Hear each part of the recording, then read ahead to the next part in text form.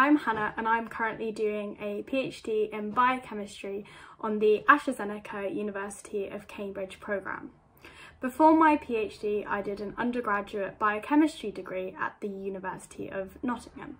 I've always been particularly interested in pharmacology and during my undergraduate course I spent um, two summers um, doing summer placements in the pharmacology and cell signalling group at Nottingham as well as a year in industry at AstraZeneca.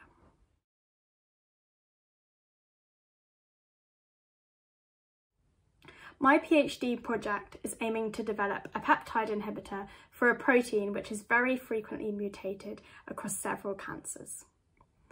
The project primarily involves protein engineering and structure-based design.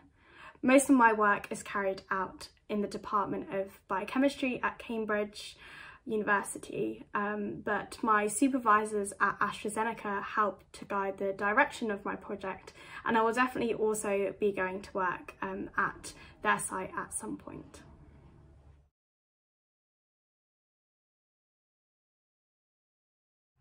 I really enjoyed my placement year in AstraZeneca and this inspired me to find um, PhDs which had industry involvement.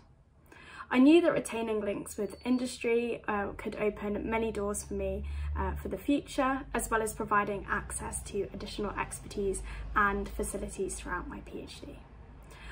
I also think that having a um, industry partner can enable your PhD work to have wider impact.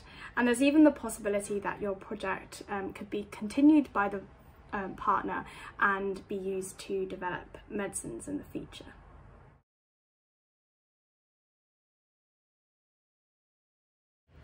During the first year of my PhD, my lab had limited capacity, which meant that I couldn't get going with experiments as quickly as I would have liked. My supervisor also couldn't come in, and so a lot of my initial training was done virtually, which presented some difficulties. Saying this, overall, I don't think the pandemic has affected my uh, work too much. It has also made me really appreciate the community of my lab uh, now that things are back to normal.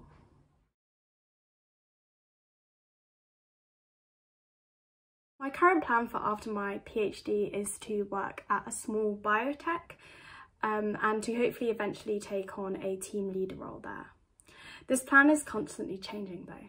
And I think having an industry partner for my PhD allows me to open my eyes to the many opportunities that we have as um, PhD graduates, while some other PhD students can be quite blinkered in on academia.